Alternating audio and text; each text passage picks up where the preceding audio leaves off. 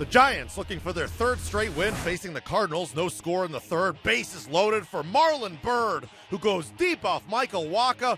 Byrd had come in 0 for 16 in his career versus Wacha, the eighth grand slam of the year for the Giants that sets a franchise record. 4 0 still in the fourth. Two men on, Yadier Molina with the RBI single off Mike Leake. That trims the Giants' lead to 4 to 1.